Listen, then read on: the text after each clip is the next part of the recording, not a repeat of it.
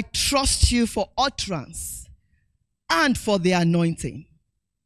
That someone under the influence of my voice right now will have a life changing encounter with your word, even in these few minutes. In the mighty name of Jesus, I pray. Amen. I am so excited to be a part of this productive innovation in a time like this. A virtual Quiffy convention. Wow. I must first salute our ever productive, progressive, creative, exemplary matriarch, Archbishop Margaret Benson Idahosa.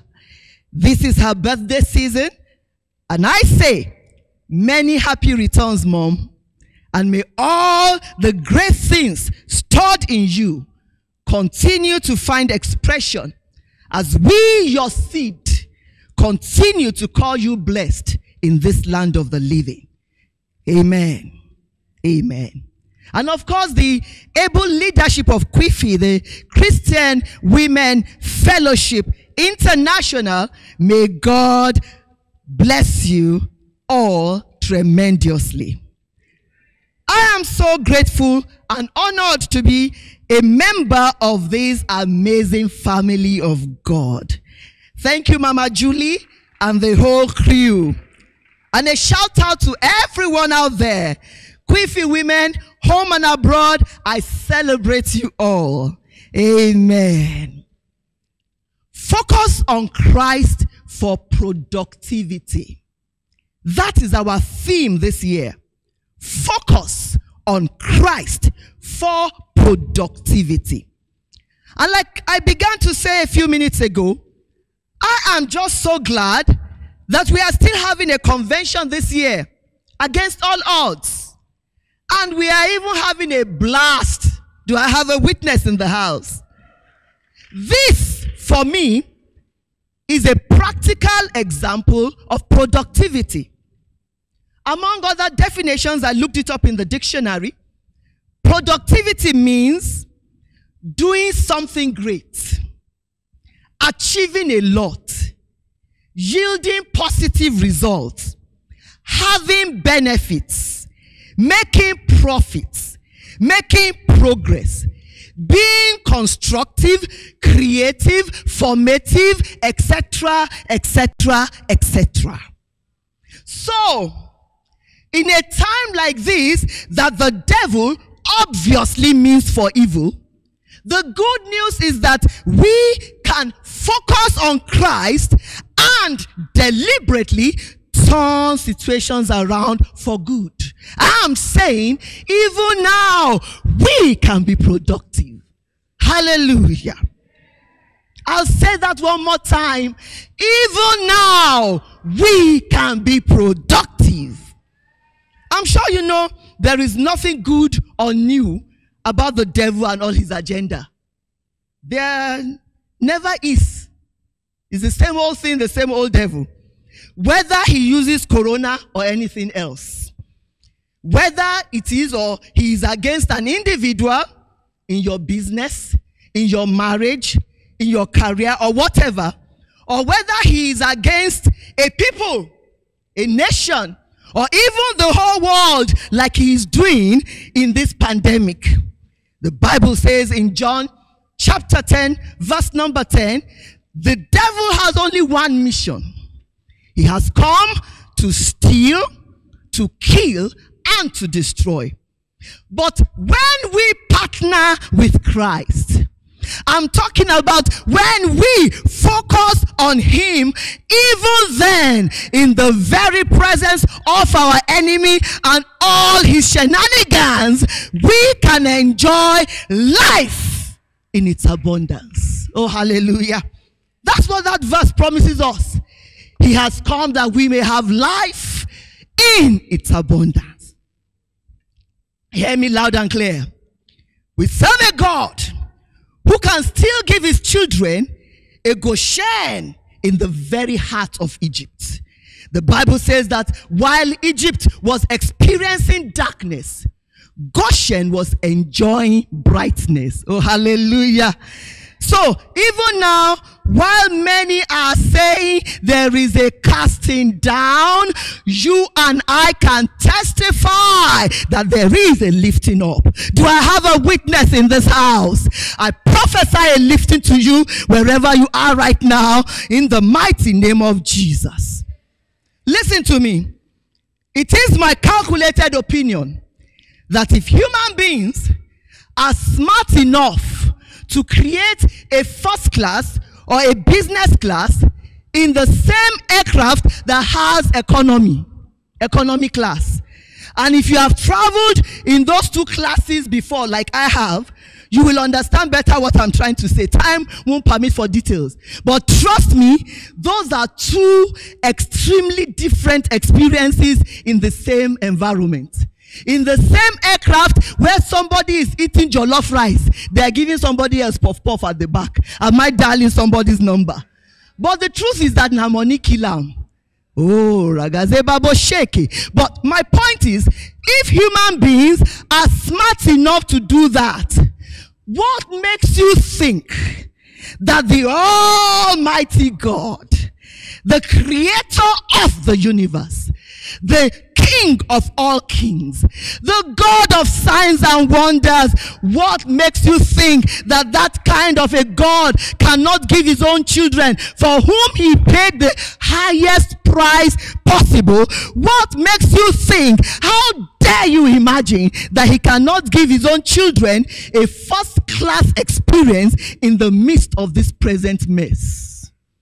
What makes you think that? Quiffy woman? Focus on Christ.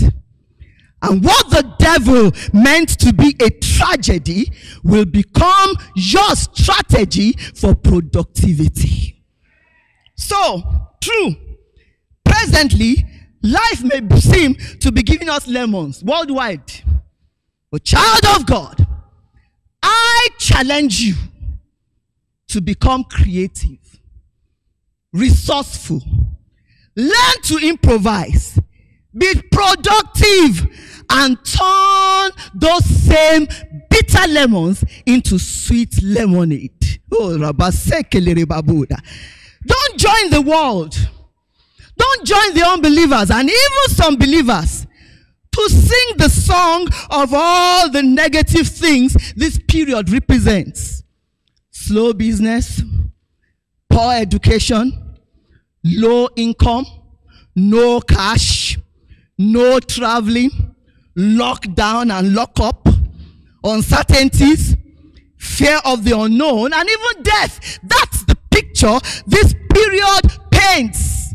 Well, in this same period, in this same time, Genesis chapter 1, verse number 28 remains a sure command. The A part of Genesis chapter 1 verse 28 says, Then God blessed them. I ask you this day, are we still the blessed of God? Ah, has Corona changed our status? Aha! And God said to them, I ask you again, does God still have something to say? Is he still speaking even now or not? I need a witness. Is God still talking to somebody even now? He said to them, Be fruitful and multiply, fill the earth and subdue it have dominion. And it goes on to say a number of things. Ladies and gentlemen, I make bold to declare Genesis chapter 1 verse 28 is still an instruction today, not a suggestion. Oh, hallelujah. Hallelujah. I said hallelujah. And I hope the women know. Do I have women listening to me? I hope the women know that multiply, replenish, and fill the earth in that verse is not just talking about baby making. It's not just talking about childbearing. So don't use all this lockdown period to get pregnant and fill everywhere, litter everywhere with babies. That's not the assignment. At least that's not the only assignment. That verse goes on to say, subdue, have dominion, subjugate, rule, take charge, take control. In simple English, it is saying, be optimally productive. Oh, hallelujah. And I say, considering that we were made in the image and likeness of the God who in the whole of Genesis chapter 1 gave us an excellent example of creativity and productivity, even now, you and I can produce something out of the seeming nothingness and the emptiness and the bleakness all around us presently. Genesis 1:27 says we were created in the image and likeness of God. Nothing is big enough to make a failure out of us because there is no failure in the God we resemble. Somebody hearing me? No. It's not in our DNA. Quiffy woman, it is not in our DNA. Time will not permit me to give the many personal examples of things I didn't know I could do before this pandemic. But because I chose, listen to this, I chose to focus on Christ and not on the crisis. Even me, moi, today I have testimonies, not a few. For me, this tragedy is fast becoming a strategy. I tell you, by the time this whole corona thing is over, I have a feeling that you and I will be able to look at one another and testify. I have a feeling that we have a reason to look at myself and ask, is me be this? Ah, Ladies and gentlemen, I'm sure you agree with me that many things that if they had told us we could do without, or live without, or survive without, if by January they had told us we could do without some of those things, we would not have believed. We would have disagreed. Well, the last six to seven months have proved to us, beyond every reasonable and unreasonable doubt, that everything else can fail. Only Christ remains strong and sure, the solid rock on which we stand. No wonder Hebrews chapter 12, verse 2 in the New King James Version says, and I read, looking unto Jesus, talking about focusing on Christ, looking unto Jesus, the author and finisher, the A and the Z of our faith who for the joy that was set before him? Endured the coro- sorry the cross. Uh-huh. Am i dialing somebody's number? Despising the shame. And now has sat down at the right hand of the throne of god. You, did you see that? He endured the, coro- the cross so even Jesus encountered tough times and rough times. That's what that verse shows me. Even Jesus. So don't be deceived. There's nothing new about this corona business and all it represents. It's just another tough and rough time. Am I communicating? It's just another tough time. It's just another rough time. Friends, Jesus remains our best example. So focus on him. If Jesus, against all odds, the Bible says he went from Gethsemane in John chapter 17 to Gabbatha in John chapter 19, verse 13, and from there to Golgotha in John chapter 19, verses 17 and 18, and then eventually, consequently, to the grave in John chapter 19, verses 41 and 42. Did you see that trend from Gethsemane to Gabbatha? And not that this was going worse to Golgotha to the grave. And eventually, ladies and gentlemen, today, that same Jesus, after all that ordeal, he's seated in glory, having fulfilled purpose because he remained focused and productive despite all the odds against him, all his negative G's, uh, the Golgotha, the Gethsemane, the Gabbatha, the grave. Today we are celebrating a positive G. He is in glory because he remained focused and productive. If that is the case for Jesus, then let me sign out right now by simply saying, Go and do likewise. Go and do likewise. Quiffy woman, go and do likewise. God bless you. Help me welcome Papa, my husband, Bishop Fred Addo, as he speaks a blessing on Quiffy and indeed every woman out there. God bless you. Glory to God. Thank you so much, God's woman, a lovely wife for very good preaching. I found out that the one who is my mother is actually also my father, my encourager. And her name is Archbishop Margaret Idahosa. I always wanted to go to a Quiffy conference. I always told my wife, one day I will follow you for Quiffy conference. Well, here am I.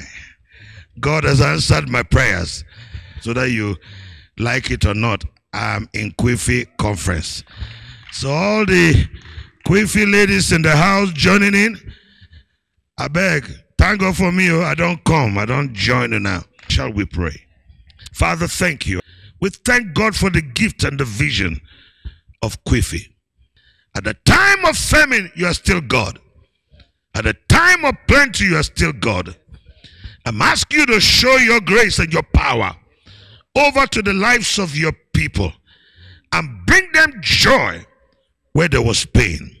You bring springs in the desert. You, you cause rocks to bring out water. So I pray for all of your children. Listen to the sound of my voice as this conference continues and we hear other speakers and great things happening. I declare over you from my heart that the days ahead will be far better for you than the days gone by. I count it done in the name that's above every other name, that wonderful name of Jesus. Amen and amen. And God bless you.